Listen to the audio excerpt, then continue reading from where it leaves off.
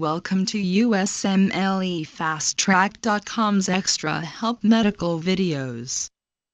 Autism Autism is one of a group of serious developmental problems called autism spectrum disorders that appear in early childhood usually before age 3.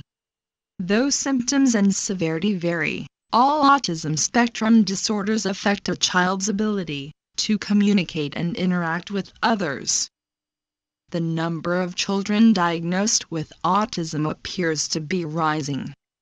It's not clear whether this is due to better detection and reporting of autism or a real increase in the number of cases or both. While there is no cure for autism, intensive, early treatment can make a big difference in the lives of many children with the disorder. To learn more about this topic, and for a full USMLE Step 1 review be sure to check out USMLEFasttrack.com.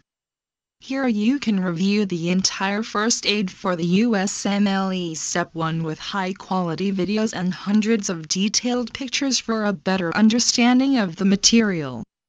So to learn from the best review book check out USMLEFasttrack.com.